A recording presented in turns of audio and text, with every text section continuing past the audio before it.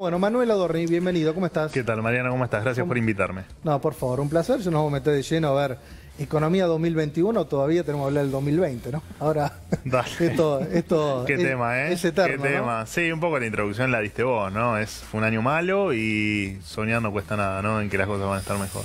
Y sí, porque aparte los desafíos para este año son eternos, No, digamos. no son- sé si alguna vez los vimos, los desafíos que tenemos por delante esta vez. Bueno, ahora nos vamos a meter al hueso. Bueno, Herman, ¿cómo estás? Bienvenido. ¿Qué tal, ¿Todo bien? Mariano? Qué bueno, que qué bueno estar acá de nuevo. Bueno, es un placer y bueno, tra- trajiste un tema interesante, una comparativa de distintos negocios inmobiliarios, que uno piensa que es todo lo mismo, hablar de negocio inmobiliario, todo rinde igual, y me sorprendió los rendimientos, uno dice, no, no invierto más en la Argentina afuera, así que ya nos vamos a meter en ratito con eso. Bueno, vamos a arrancar acá, Manuel, nos metemos en economía, ¿eh? Bueno, la Pax cambiaria se pondrá a prueba en el verano. Esto lo sabemos que hasta ahora el gobierno está terminando con cierta, con cierta tranquilidad. ¿Bien? O por lo menos. Sí. A ver. Sí, en a base ver. al, al desequilibrio que hubo con, con el dólar a 195, ¿no? Es como que hoy están festejando, porque eso se podía desbordar, ¿no? Y acá puse, que ahora lo vamos a discutir, qué es lo que viene de acá en adelante, si querés, en el veranito para enfrentar, que uno, bueno, ya, esto ya lo tenemos, aceleración inflacionaria, nadie está hablando de una inflación por debajo, bueno, el gobierno sí, pero bueno, por debajo del 50% en el año 2021 y ojalá no sea más. Bueno, y después el Banco Central tiene que retirar todos los excedentes de peso que hasta ahora, bueno, los viene, digamos, el mercado le viene respondiendo, esto hay que decirlo, pero bueno, vamos a ver hasta dónde.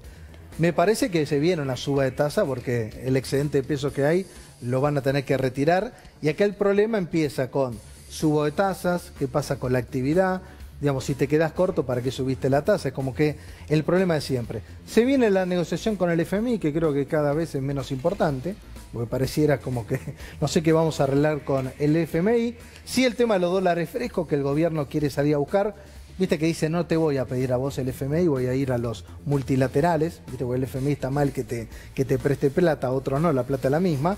Bueno, después el tema de las reservas, que esto por más que diciembre termina positivo con una compra del banco del Banco Central que no pasaba desde junio julio, igual es un problema que no sin solución y después bueno, todo el tema de financiamiento. Esto es un poco todo esto a qué le va a poner presión? Le va a poner presión al dólar, sin duda, y le va a poner presión también a las tasas a las tasas de interés. Bueno, esto es una pequeña breve Sí. introducción. A ver, bueno, acá hay que, hay que, hay muchos que dicen, bueno, el 2020 eh, lo peor ya pasó, o este 2020 en tal caso fue lo peor que nos pudo pasar, y de acá en adelante, incluso los funcionarios, ves que te dicen, mira, el año que viene vamos a tener un rebote, el rebote más alto de la década, te juegan un poco con las palabras.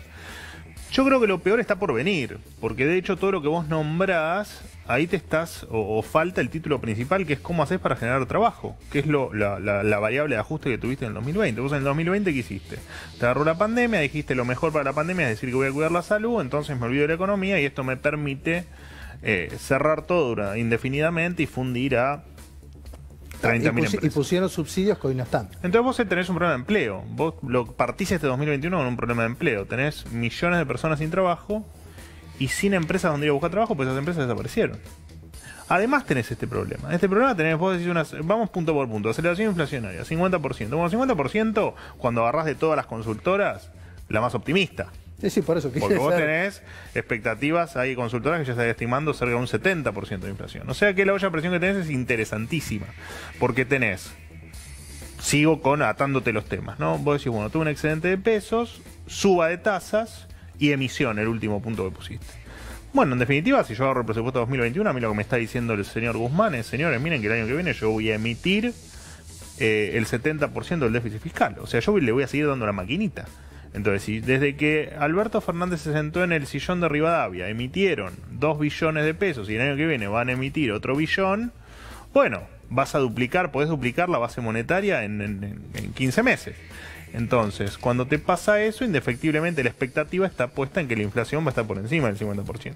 ¿Qué va a pasar? Bueno, futurología no hacemos, simplemente tratamos de leer expectativas. Y la lectura de expectativas es que vas a tener un problema inflacionario serio. De hecho, este año pasaste por uno y pico de inflación, después pasaste por dos y pico de inflación, ahora estamos en tres y pico de inflación, y probablemente en diciembre estemos en cuatro y pico de inflación. Vamos a ver si es 4 4,1 o si es 4,95. Sí, pero, esto- tenés el- un problema 50 ya serio de inflación. El 50 ya, Entonces ya vos está, lo estás vas a tener un 2020 donde no vas a, te- vas a tener inflación, no vas a tener empleo, lo cual ya de por sí es un cóctel explosivo, pues estás en una Argentina que la foto es 50% de pobres, 65% de chicos pobres y un ajustado, un 20% de desempleo, a datos de hoy.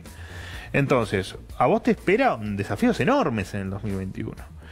Y además, en eh, marzo-abril tendrías que tener cerrado el fondo, ¿no? Y el fondo, vos cuando decís, bueno, y el fondo, nos olvidamos del fondo, viste ya no se habla más del fondo, Vos decís, ¿qué pasó con el fondo?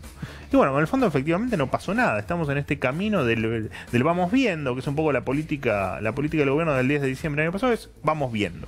Después te agarró la pandemia y el vamos viendo tuvo una justificación, que fue, bueno, mira, me agarró un bicho que no sé ni dónde viene, que creí que no iba a venir, que le dije a los argentinos que no iba a venir, y de repente vino y fue una bomba nucleónica que explotó en la Argentina eh, y que nos dejó un, un vendaval de eh, empresas fundidas, de gente fundida y de gente sin trabajo.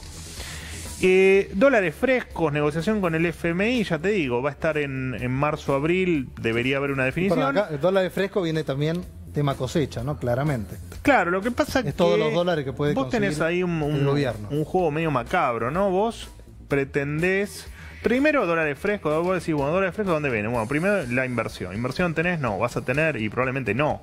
Porque, y porque para que la gente invierta necesitas básicamente dos cosas. Primero que el que viene a invertir tenga la expectativa de ganar dinero y después que el que viene a invertir piense y esté seguro de que le van a respetar la propiedad privada. Y la verdad es que no lo hemos demostrado, ¿no? Te puedo nombrar simplemente el hecho del intento de expropiación de Vicentín, el impuesto a la riqueza, y así puedo seguir enumerándote un montón de cosas que al inversor no le dan la seguridad de que va a traer acá un dólar y se lo van y se lo van a respetar. Y ganar plata en la Argentina, la verdad que es bastante complicado, es bastante complicado porque tenés 200 mil millones de impuestos, porque tenés otra, otros tantos de miles de regulaciones, entonces la Argentina es un país complicado. Inversiones no vas a tener.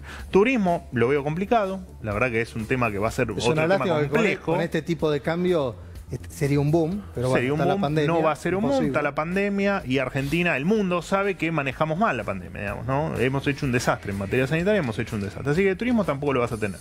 Lo que te quedaría en tal caso es confiar en tu superávit comercial. Bueno, con este dólar no lo vas a tener más, digamos, ya lo que te pasó, eh, los últimos números de noviembre te dieron un superávit comercial de 271 millones de dólares, o sea, dos monedas con 50. Y lo que te va a pasar es lo que venimos muchos anunciando desde hace mucho. Mira que cuando vos planchás el dólar, lo que te pasa, indefectiblemente, es que exportar cada vez te es menos redituable o tenés menos incentivo y cada vez tenés más incentivo para importar todo lo que podés, No, porque sabés que lo estás comprando barato. Claro, te estás adelantando que hubiera Claro. algún tipo de ajuste del tipo de cambio. Entonces- Porque hoy, hoy no es un tema de mercado mundial que no tenés compradores. Hoy también hay especulaciones y bueno, no vendo hoy, vendo más adelante. Y Totalmente. Y, hoy importo todo lo que pueda, que ya no es tan fácil importar. Que si los que pudieron importar, Totalmente. digamos, todos compraron. Acá si no Todo que levantás el tubo y del otro lado hay alguien que te dice, sí, mira, escúchame, te, Bueno, pero hoy- te- hoy ya te no puedo pagar esos que dólares. querés. Por eso. Entonces, eso ya lo vas a lo vas a corregir. Tal cual. Ahora, bueno, lo que pasa es que si vos haces eso sin tocar el tipo de cambio, lo que tenés es escasez. Que de hecho hoy te pasa, digamos. Hoy hay productos muy elementales que no los voy a nombrar por una cuestión de marca, pero que no los conseguís. Eh, y que van desde eh, ruedas de autos hasta eh, repuestos de máquinas, hasta productos de ferretería, digamos. Lo, más variado hoy no lo conseguís. ¿Por qué? Porque vos podés jugar mucho con los decretos y podés jugar mucho con las comunicaciones del Banco Central, pero la realidad es que cuando te quedaste sin dólares y le, le, le, le sacás, porque acá lo que hay que entender y la gente tiene que entender, es que cuando planchan el dólar, el que estás estafando es al exportador, es al que te los consigue. Entonces entras en una, en una espiral muy complejo, porque al tipo que tenés que incentivar para que te exporte y que te dé los, dólares, lo que le estás diciendo es, ¿sabes lo que pasa? El dólar vale 150, pero a vos te lo pago 85.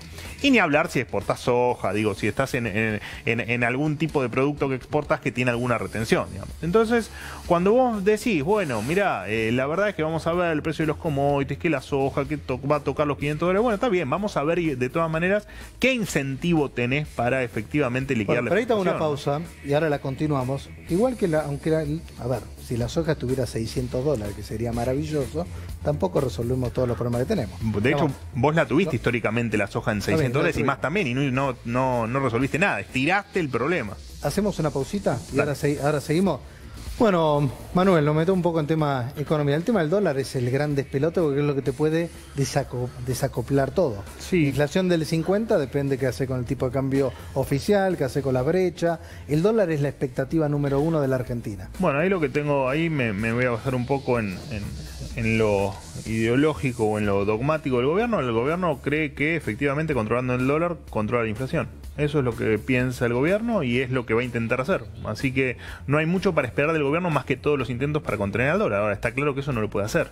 ¿Por qué? Porque no tiene más dólares, porque los que pueden acceder, los pocos que pueden acceder al oficial, cada vez quieren acceder más al oficial, y vos después tenés un problema de brecha, ¿no? Vos decís, bueno, mientras que menos dólares disponibles tenés en el oficial, más disparada tenés la brecha, porque vos hoy tenés un dólar de 150 pesos en el mercado libre, simplemente porque están revoleando bonos del ANSES y porque están mandando, o al principio mandaron algún amigote a hacer alguna operación. Está claro lo tenés pisado.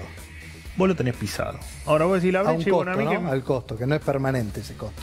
No, ni hablar. Y aparte, como, como recién decían, en algún momento, porque te lo muestra la historia, eh, en algún momento el dólar oficial se pega al dólar, al dólar paralelo. A ver, es cuestión de tiempo. Lo que no sabemos es si se va a pasar mañana o si va a pasar dentro de 20 años, pero va a pasar porque pasó siempre. Sí, o se hace por las buenas o se hace por Cuando las vos tenés malas. la brecha, te vuelvo a repetir, vos tenés al exportador y decís, mira, a mí me estás pagando 85, pero vale 150. Y el importador lo que dice es, che, yo lo consigo, el dólar vale 150, a mí me lo están vendiendo 85. Entonces vamos a tratar de levantar el teléfono al Banco Central para que me pague las importaciones.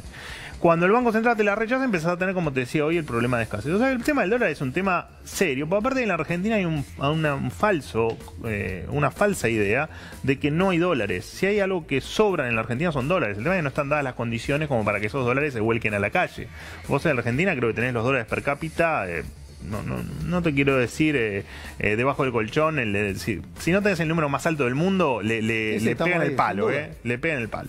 Entonces vos Porque querés- lo sacamos del sistema, aparte, ese es el problema. pero más vale, o sea, yo no, no guardo, no, no es mi caso, ¿Adentro pero o afuera? No guardo dólares abajo del colchón porque, porque quiero perder plata, porque no quiero tener rendimientos. No, porque vos donde sabés que donde te ven un dólar en la mano, te lo van a tratar de sacar, te lo van a tratar de especificar 85, te lo te van a tratar de cobrar algún impuesto adicional. Entonces, o para que eso pase, tenés que hacer unas reformas que yo no estoy viendo. Por eso, cuando a mí me vienen a plantear escenarios positivos o escenarios no tan negativos, yo digo, bueno, a ver, ¿en qué nos basamos? ¿no? Porque vos acá necesitas generar empleo no, no estás haciendo nada para generar empleo. Tenés que generar que la gente que tiene dólares confíe, invierta, genere empleo, cambie esos dólares. ¿Qué estás haciendo? Absolutamente nada.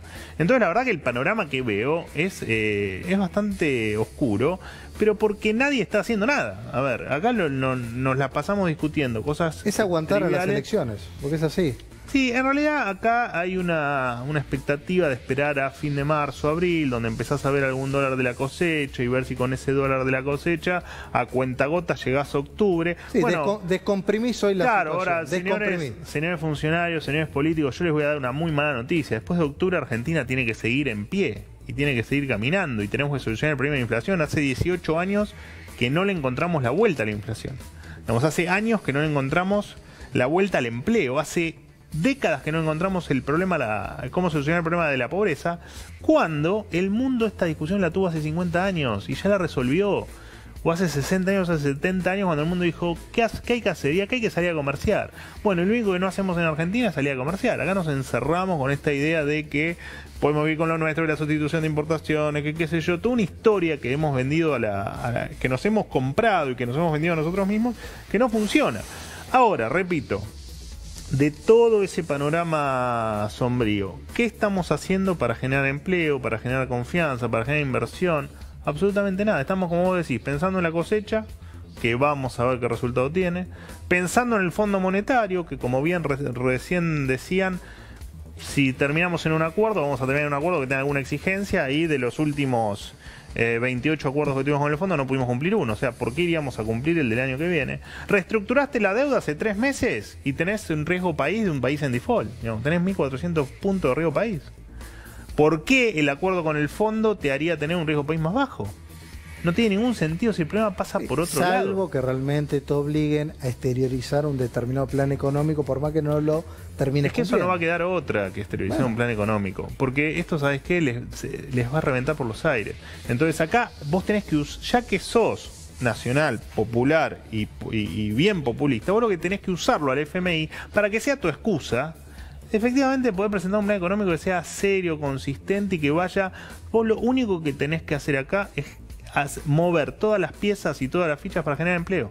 No te queda otra, porque si no, este me vas a entrevistar dentro de 20 años y, te, y me Vas vas, a estar decir, hablando lo ¿Y por qué la pobreza es del 80%? Vamos, ¿Por qué vamos a poner este tape, 50? ¿viste? Como Tato Bores. Y que bueno, porque utiliza. siempre hacemos lo mismo y cometemos los mismos errores.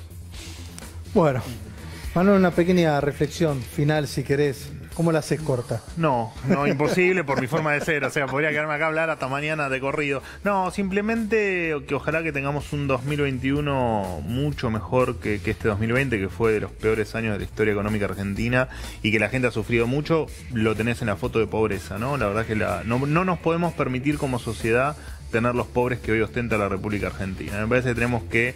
eh, y te repito, como sociedad tenemos que entender que algo hemos hecho mal o que muchas cosas hemos hecho mal y en algún momento hay que cambiarlas. Eh, y, y ojalá que el 2021 sea el año, donde empiecen los cambios y empecemos a generar trabajo, a bajar la pobreza, a generar crecimiento y a entender que nos tenemos que integrar al mundo, que le tenemos que vender nuestros productos al mundo, que el que es rico eh, está muy bien que lo sea y el que es pobre tiene que tener las herramientas para salir de la pobreza laburando.